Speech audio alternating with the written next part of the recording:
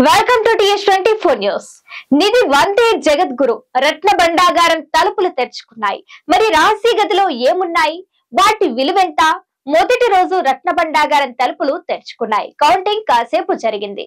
నేడు రెండో రోజు కౌంటింగ్ ప్రక్రియ కొనసాగనుంది. అయితే పాత రికార్డులతో లెక్క సరితూగేనా? ఈ లెక్క తేల్టానికి సమయం పడుతుంది.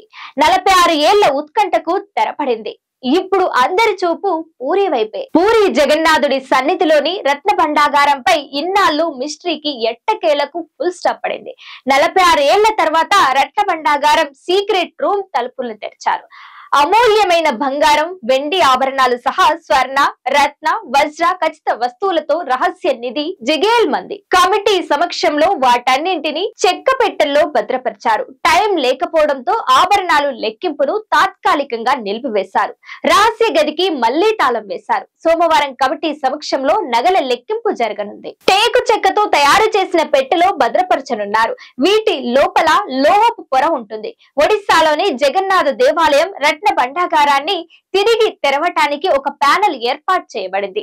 ఈ ప్యానెల్కు జస్టిస్ విశ్వనాథ్ రథ్ చైర్మన్గా నియమితులయ్యారు. రత్న భండాగారం తెరవడం గురించి సమాచారం ఇస్తూ నిర్ణయించిన ప్రకారం మొదట రత్న భండాగారం తెరిచారు. ఒడిశాలో బీజేపీ అధికారంలోకి రాగానే రత్న భండాగారం తలుపుల్ని తెరుస్తామని ఎన్నికల ప్రచారంలో ప్రధాని మోదీ స్పష్టం చేశారు. ఆ మాటే పాటుగా తలుపులు తెరుచుకున్నాయి. అయితే గదిలో నగలెన్ని వస్తువులెన్ని రత్న వజ్రాలు వైడూర్యాలన్నీ ఈ లెక్క తేరడం అంత ఆషామాషి కాదు. పంతొమ్మిది వందల డెబ్బై ఎనిమిది వాటన్నింటినీ లెక్కించడానికి డెబ్బై రెండు రోజులకు పైగా సమయం పట్టింది. మరి ఈసారి ఎంత టైం పట్టే అవకాశం ఉండనేది ఆసక్తిగా మారింది. జస్టిస్ విశ్వనాథ్ రథ్ నేతృత్వంలో కమిటీ సమక్షంలో గది తలుపులు తెరిచారు. ఆయన ఈవో అరవిందపాడి పూరి జిల్లా కలెక్టర్ సిద్ధార్థ్ శంకర్ స్వైన్ పురావస్తు శాఖ ఇంజనీర్ ఎన్సి పాల్ పూరి రాజ ప్రతినిధితో పాటు ఐదుగురు ఆలయ సేవాయత్లు ఈ కార్యక్రమంలో పాల్గొన్నారు. రహస్య గదిలోకి వెళ్ళిన వాళ్ళు వారం రోజులుగా శాకాహారం మాత్రమే భుజిస్తూ నియమ నిష్ఠలు పాటించారు. వీళ్ళంతా సాంప్రదాయ వస్తువులతో ఆలయంలోకి ప్రవేశించారు. మొదట జగన్నాథుడికి ప్రత్యేక పూజలు నిర్వహించి ఆ తర్వాత రహస్య గదిలోకి వెళ్ళారు అందరిలో ఎప్పుడు ఏం జరుగుతుందో అనే టెన్షన్ తలుపులు తెరవగానే ఓ ఘటన జరగనే జరిగింది.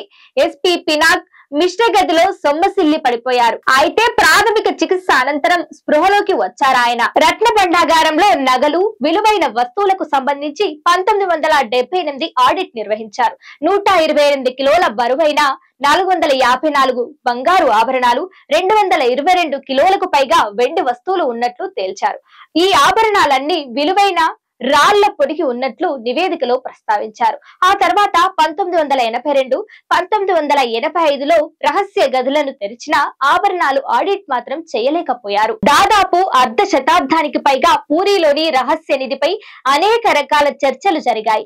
తాళం చెవి మిస్సింగ్ మిస్టరీగా మారింది. రహస్య గదిని తెరిస్తే అరిష్టం తప్పదనే వదంతులు షికారు చేశాయి. మ్యాటర్ కోర్టు వరకు వెళ్ళింది. కోర్టు ఆదేశాలతో ఎట్టకేలకు గది తలుపులు తెరవటానికి మార్గం సుగమమైంది కాబట్టి ఈ ఆధ్వర్యంలో రత్న భండాగారం తెరుచుకుంది. ఇక నిధి విలువ ఎంతో లెక్క తేల్చడమే తరువాయి. రత్న భండాగారం అంటే ఏమిటి? జగన్నాథ దేవాలయం నాలుగు ధాములలో ఒకటి. దీనిని పన్నెండవ శతాబ్దంలో నిర్మించారు. ఈ ఆలయంలో రత్న భండాగారం కూడా ఉంది. రత్న భండాగారాన్ని భగవంతుని నిధి అంటారు. ఈ రత్న భండాగారంలో జగన్నాథ ఆలయంలోని ముక్కోటి దేవతలైన జగన్నాథుడు సోదరుడు బలభద్రుడు సోదరి సుభద్ర ఆభరణాలు ఉంచబడ్డాయి.